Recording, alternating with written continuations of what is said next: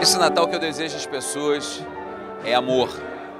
É Cristo reinando na casa de cada um. Saúde, paz. E um 2023 com muita perspectiva. Que as pessoas possam botar um pouco mais de amor ao próximo, os grandes mandamentos em que Deus deixou para gente. Então eu desejo a vocês um 2023 saúde, paz e prosperidade. É o que esse humilde deputado deseja a você e toda a sua família. Fique na paz.